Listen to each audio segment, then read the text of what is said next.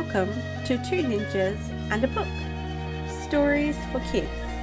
No adults allowed. Hi everyone, welcome back to another episode of Ninjas in a book. So it's just Mummy Ninja and Henry today. Say hi Henry. Hi. How's your day, Henry? You feeling good? Yes. Yes? Yes. You excited to read a book? Yes. Now, Henry, what are we reading today? Peppa Pig. Peppa Pig. You love Peppa, don't you? Yes. Is she your favourite? Yes. Now, what Peppa Pig book are we reading today? Peppa on base. Peppa in Space? Yes. Yes. Oh, so where do you think Peppa's going? Moon. To the moon!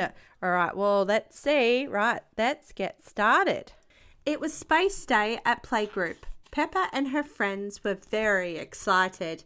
Does anyone know what space is? asked Madame Gazelle. Space is a physical universe beyond the Earth's atmosphere, said Edmund Elephant. Edmund was a bit of a clever clogs. That's right, Edmund, said Madame Gazelle, and today we are going to be talking about something you find in space. The moon! shouted all the children. Yes, says Madame Gazelle. Can I live on the moon? asked Danny Dog.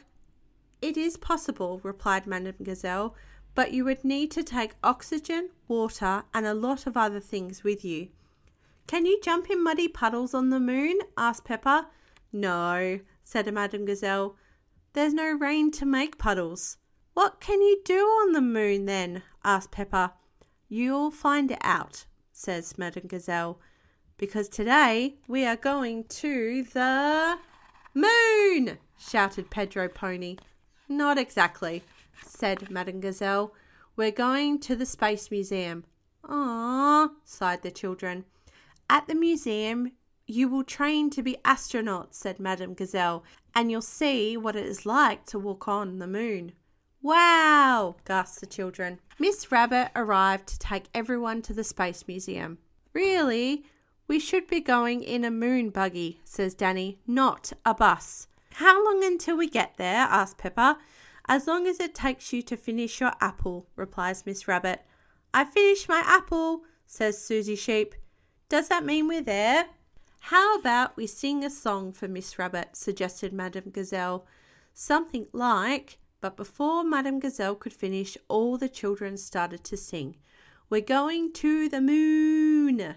We're going to get there soon. And they sang it to Miss Rabbit all the way to the museum. When they arrived at the museum, the children were met by a real astronaut, Grampy Rabbit. Hello there, fellow astronauts, he boomed. Our space training mission today will take us to the moon. The ride may be bumpy, but it will be worth it when you get to see what it is like to walk on the moon. Hooray! cried the children. The children put on their special spacesuits and boots as quickly as they could. It is time to hop aboard our spacecraft, called Grampy Rabbit when they were ready. Five, four, three, two, one, blast off! cheered all the little astronauts together. Grampy Rabbit and the children zoomed on their training mission. On the way to the moon, Grampy Rabbit told the children about the different planets in the solar system.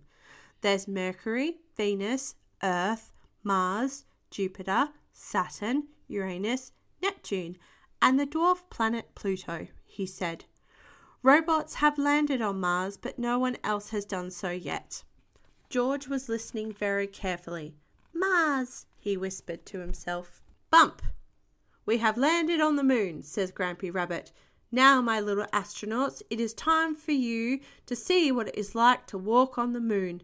Just take one small step out of the spacecraft, and one Peppa and her friends all took giant leaps out of the spacecraft wearing Grumpy Rabbit's anti gravity rubber bands. Whee!